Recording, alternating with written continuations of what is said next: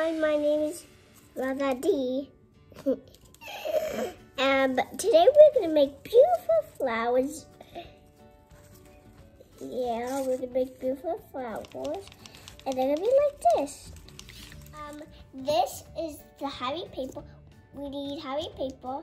That's some scissors and some glue stick and beautiful paper and then green paper. I'm going to draw a very dark circle on this piece of paper. For the flower petals, we're going to cut this strip into long petals.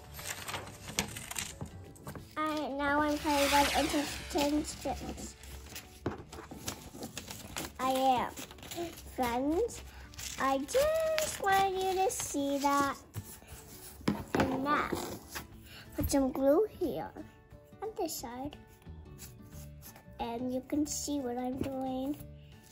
And then, then do this.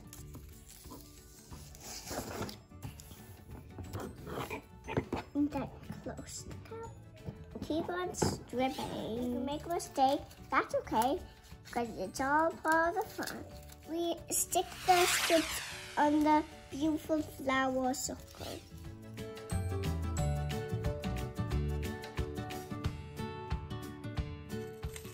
Ta-da! This is the flower.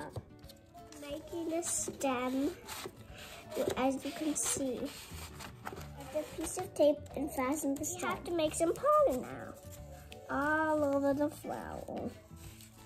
Or if you get too tired, you can take a break and then do it again.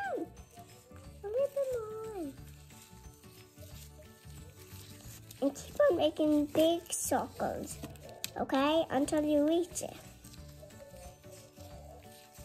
See, this is enough pollen. And now the flower is ready. I can't feed my loud now.